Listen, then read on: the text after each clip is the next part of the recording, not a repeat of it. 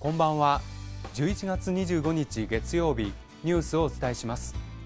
はじめに今日の主な内容です。中国映画の最高峰ゴールデンルースター賞の授賞式が福建省アモイ市で行われました。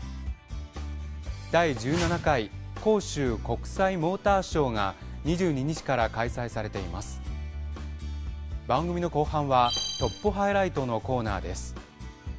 王岐山国家副主席は23日アメリカのキッシンジャー元国務長官と北京で会談しました。王毅外交部長は23日名古屋で開催中の G20 外相会合に出席しました。以上が今日の主な内容です。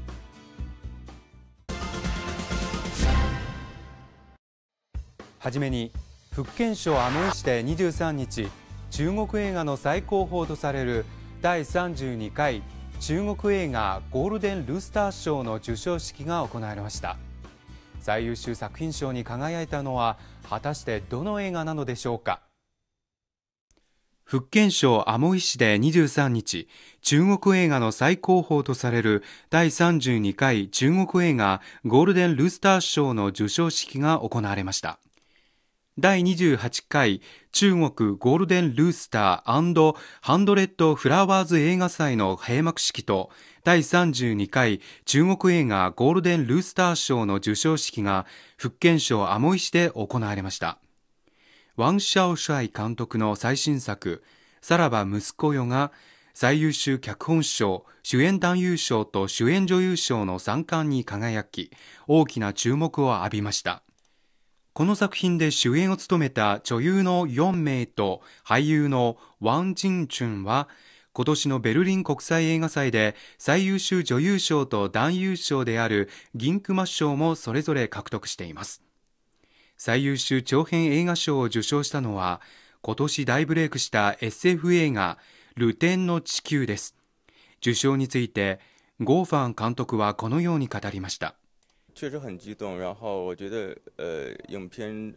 是七千人用四年的时间去完成的，所以这个奖是属于这七千人的。嗯，感谢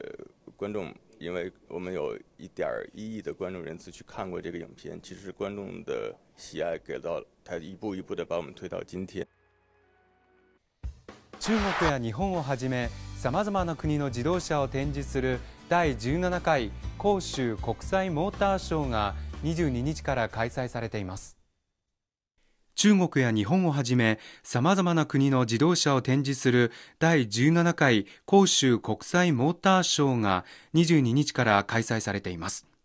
今回のテーマはニューテクノロジーニューライフで中国、アメリカ、日本、ドイツなどから新型電気自動車を含む1000以上のモデルが出展されています。日産やヒュンダイ、トヨタなどの大手はいずれも最新の自動車技術を展示しています中でも東風日産は自動運転技術や電力リサイクル技術などが体感できるスマートモビリティシティという体験エリアを設けています。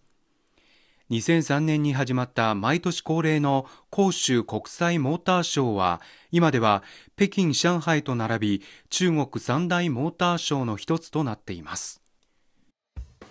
アメリカで生まれ育ったジャイアントパンダベイベイが21日未明に中国四川省に帰国しました。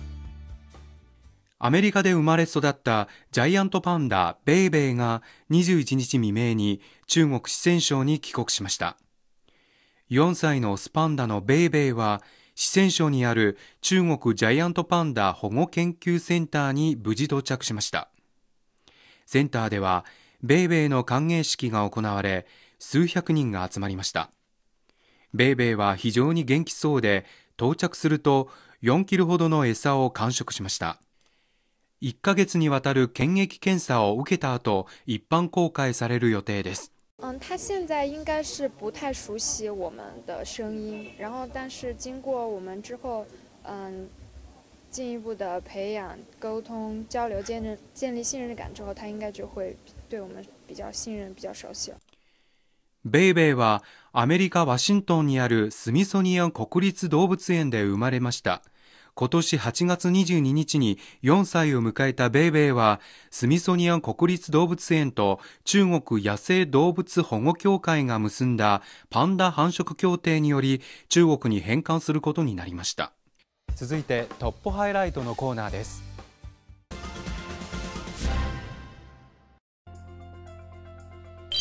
王毅さん国家副主席は23日アメリカのキッシンジャー元国務長官と北京で会談しました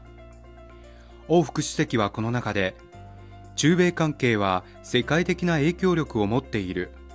協力こそが双方の唯一の正しい選択であり尊重し合い理解を深め大道を求めて勝利を残すことが双方の取るべき付き合い方であると強調しました。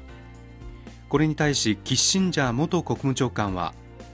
対話と交流は両国関係の礎である。双方が両国関係の発展において創造的な成果を上げられるよう望んでいると述べました。王毅外交部長は23日名古屋で開催中の G20 外相会合に出席しました。